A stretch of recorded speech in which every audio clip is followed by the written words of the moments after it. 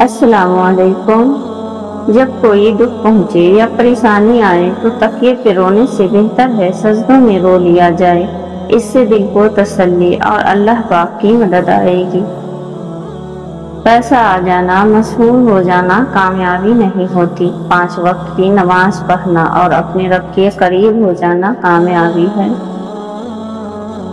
बिस्मिल्लाहिर्रहमानिर्रहीम। अगर कोई तुमसे भलाई की उम्मीद रखे तो उसे मायूस मत करो, क्योंकि लोगों की ज़रूरत का दिल से वाबस्ता होना तुम पर अल्लाह का खास करम है।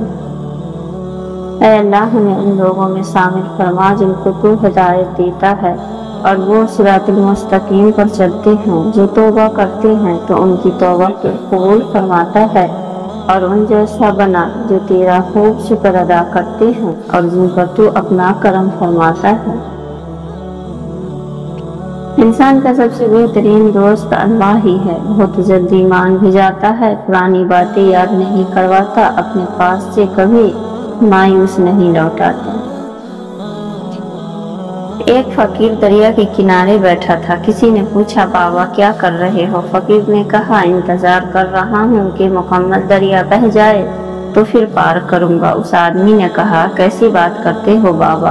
मुकम्मल पानी बहने के इंतज़ार में तुम कभी दरिया पार ही नहीं कर पाओगे। फकीर ने कहा, यही तो मैं तुम लोगों को समझाना चाहता हूँ कि तुम लोग जो हमेशा ये कहते रहते हो कि एक बार घर की जिम्मेदारियाँ पूरी हो जाए तो फिर नमाज़ पढ़ूँगा, दाढ़ी रखूँगा, हज करूँगा, खिदमत करूँगा।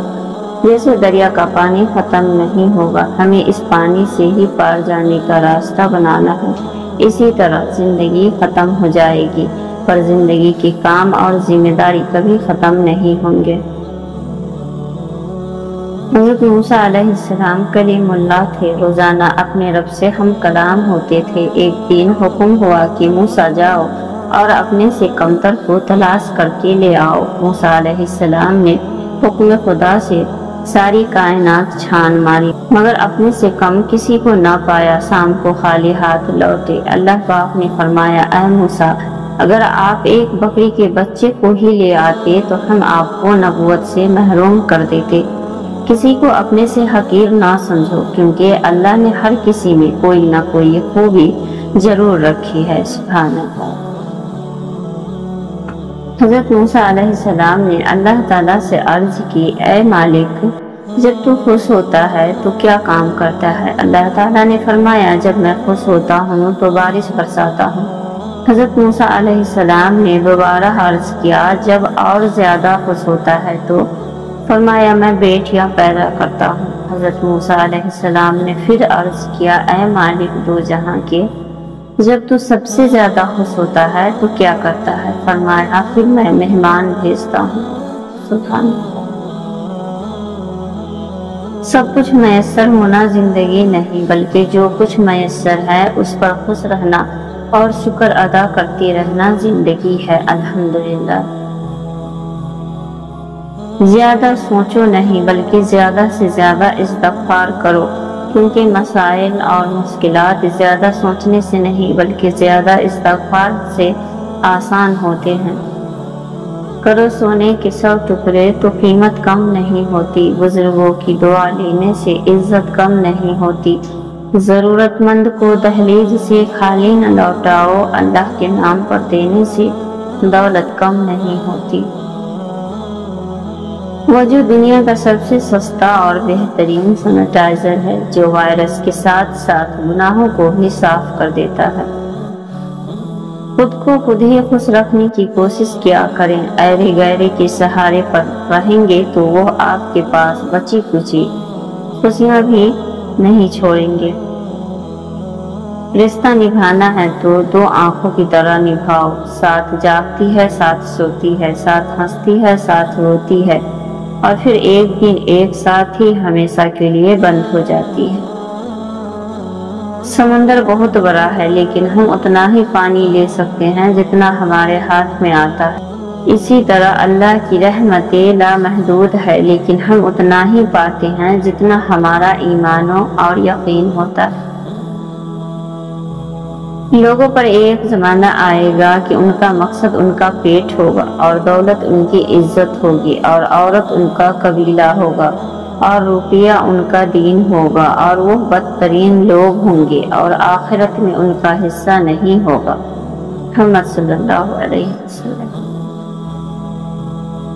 अगर लोग आपको ज़रूरत के वक्त याद करते हैं तो बुरा मत मानिए, उन्हें मतलबी ना कहें, क्योंकि चिराग की ज़रूरत अंधेरे ही में पड़ती है। मोमिन को माल की नहीं, आमाल की, नफ्स की नहीं, रूह की, दुनिया की नहीं, आखिरत की फ़िक्र रहती है।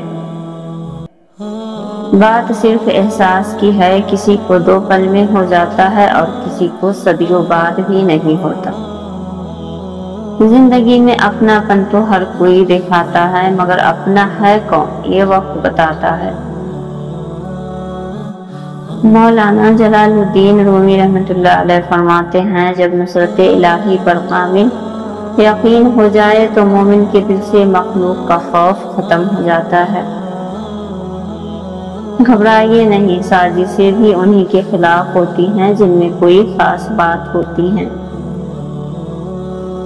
आज भी ये मुआजा ज़िंदा है, कितनी सदियों बाद भी कुरान करीम का पैगाम नहीं बदल सका। जबकि कुरान करीम ने अरबों इंसानों की ज़िंदगी बदल डाली और मुसलसल बदल रहा है। मुश्किल वक्त हमेशा के लिए मुश्किल नहीं रहता, लेकिन मुश्किल वक्त में सबकी पहचान हो जाती है और वो पहचान कोई कभी नहीं भूलता। अल्लाह की पकड़ सख्त है। हमेशा अल्लाह से डरते रहना और कभी भी किसी की गुर्बत, बेबसी और बीमारी का मज़ाक मत उड़ाना। अल्लाह की पकड़ बड़ी सख्त है। ये वक्त तुम पर भी आ सकता है, याद रखना। बादशाह को फकीर और तंदुरुस्त को बीमार होने में देर नहीं लगती। लोहा कभी खराब नहीं होता, वो हमेशा अपने ही जंग से बर्बाद होता है। इसी तरह किसी इंसान को कोई भी बर्बाद नहीं कर सकता। उसकी सोच और दूसरों से उम्मीदें ही उसे बर्बाद करती है। अच्छे और बुरे लोग हर जगह मौजूद हैं, लेकिन खराबी तब पैदा होती है जब अच्छों को पैरों में और बुरों को सर पर बैठाया जाता है। मियाँ बीबी के हकूक हज़रत इब्न अब्बास रज़ी से रवायत है कि रसूल अल्लाह सल्लल्लाहु अलैहि वसल्लम ने फरमाया, जिसे चार चीज़ दे दी गई तो उसे दुनिया और आखिरत की तमाम भलाइयाँ दे दी गई। शुक्रगुजार दिल ज़िक्र करने वाली ज़ुबान और आजमाइश पर सबर करने वाला बदन और ऐसी बीवी जो अपने नफ्स और शोहर के माल में खयानत न करे। अल्लाह ताला ने फरमाया, जब मैं मोमिन से उसकी दुनियावी महबूब चीज़ को छीन लूँ और वो सबर कर ले तो मेरे पास उसके लिए सिवाय जन्नत की कोई बदला नहीं। औलाद के लिए बाप वहाँ हाथ फैला लेता है जहाँ वो पाँव रखना भी गवारा नहीं करता। उम्मीदें सिर्फ़ अल्लाह से लगा लो, अल्लाह की अजमत की कसम दुनिया की मोहताजी से निजात मिल जाएगी। जब ये महसूस होने लगे कि सब रास्ते बंद है तो अल्लाह के रास्ते पर चल पड़ो। बेशक अल्लाह का रास्ता बंद नहीं होता। सुबह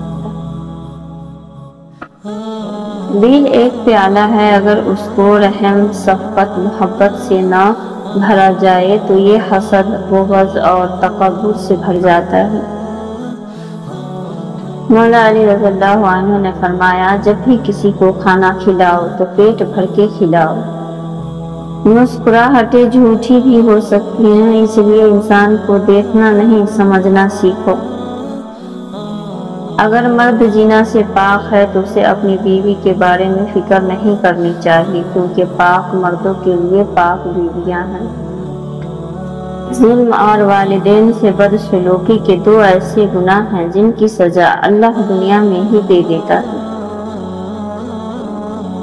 तीन नेकियाँ जिनके करने से क्यामत के दिन अर्श का साया नसीब होगा, टूटे हुए रिश्तों को जोड़ना दिल ना चाहते हुए भी माफ़ करना किसी के गुनाह का पर्दा रखना।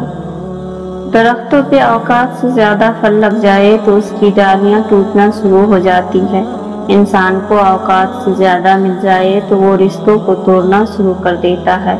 अंजाम, आहिस्ता आहिस्ता दरख्त अपने फल से महरूम हो जाते हैं और इंसान अपने रिश्तों से